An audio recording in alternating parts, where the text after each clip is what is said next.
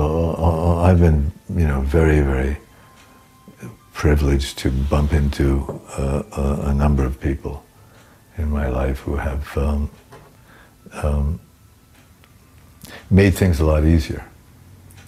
Uh, it's hard to say exactly how. It's got something to do with love. What do you, what do you mean, love? Uh, it's just to be in the presence of someone who, uh, or who forgives you. you know, uh, uh, and, and the forgiveness is automatic and, and general. It isn't you. You know, I guess he's forgiven himself and the world and, and everything else, and and is not, um, you know, operating in that mechanism of blame and shame and guilt and. Um, mm, uh, repentance. So, you know, there's a different kind of uh, uh, landscape, uh, you know, since I inhabit it so infrequently, it's hard for me to speak about it. But when you're with uh, people who habitually are operating on that landscape, there's a very um, a, a, deep sense of relaxation overtakes you. So I, am not so interested in, you know, theological or religious goals you know. But I am interested in relaxation. But um, would you call yourself a religious man, though?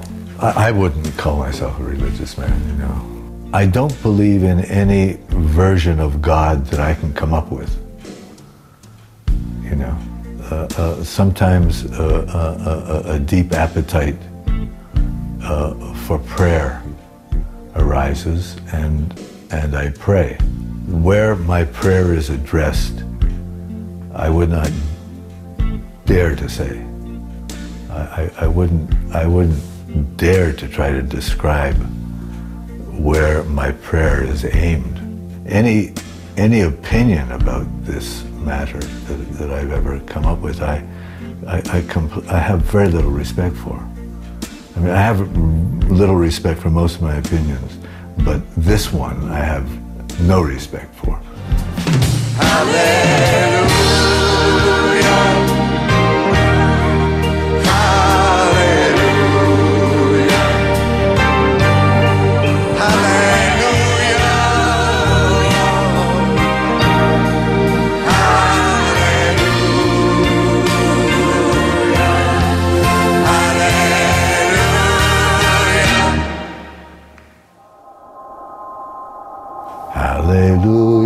That's a good song. There was a secret chord that David played and it pleased the Lord. Did you know that it's actually in actually in the church in Norway right now? Oh, that's wonderful. That's Some wonderful. new group made a version. Oh, wonderful. Well, it's it, it's wonderful to hear anything about a song that actually you know survives a minute or two, but that, it, that a song that people can find really useful you know, to lift their hearts or to make some kind of, you know, meaning about the moment.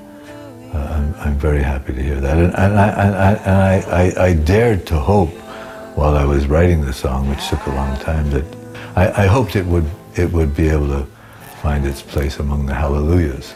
And it has, so I'm, I'm very pleased about that. It's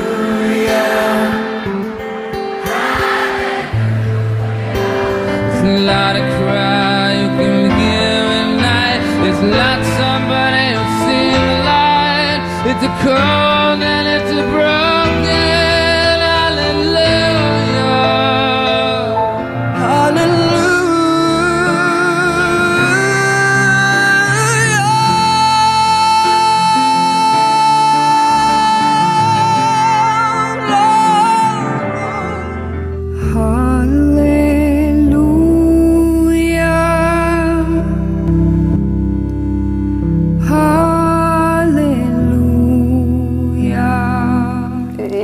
A prayer in a way.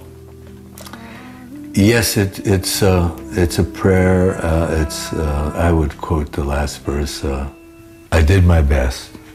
It wasn't much. I couldn't feel, so I learned to touch. I didn't come all this way just to fool you. And even though it all went wrong, I'll stand before the Lord of Song with nothing on my tongue but hallelujah. So yes, a kind of uh, yeah, deep acceptance. Hallelujah. Hallelujah.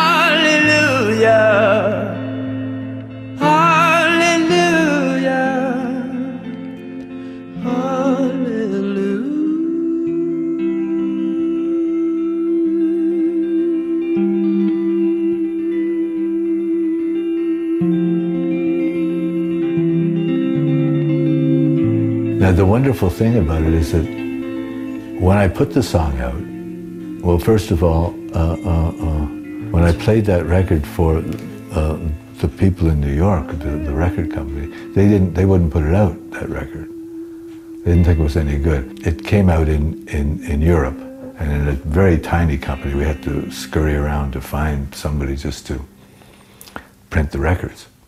And then 10 or 15 years later, you know, Tim Buckley recorded it. Uh, not Tim Buckley, Jeff Buckley. I, I knew his father, Tim. And suddenly people were recording it, but for 15 or 10 or 15 years, nobody heard of the song except Dylan. And, and Dylan was singing the song in some of his concerts. Uh,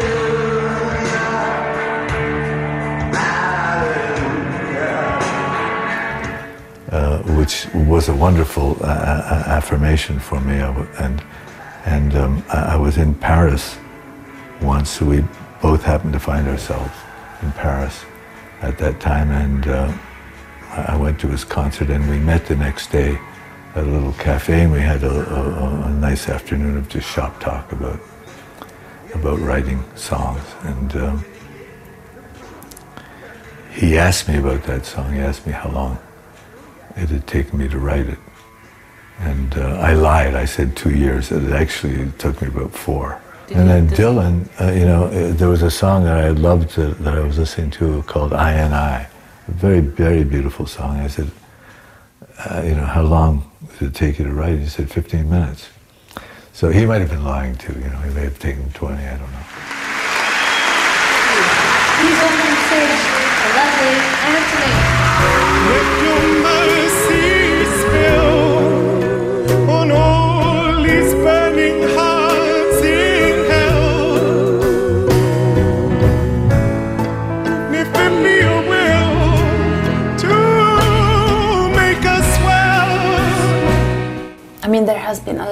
Cover versions of your songs. A lot of great artists do yes, uh, tributes. Uh, yes, yes. Um, what do you think about that? Well, uh, you know, I, I, get very angry because you know there, a lot of them are much better than the ones I could do.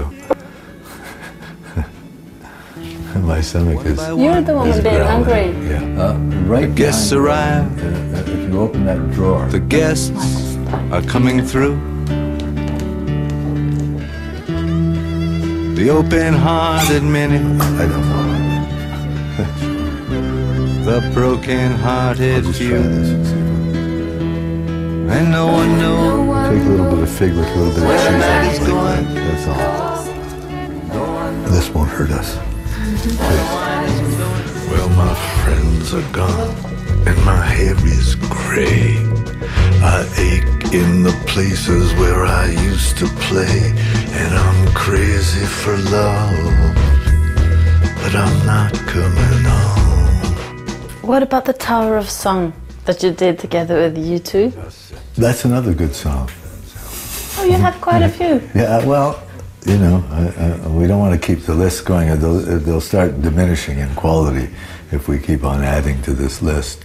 But it was fun doing it with with uh, U2. Well, you can say that I've grown bitter, but of this you may be sure. The rich have got their channels in the bedrooms of the poor, and there's a mighty judgment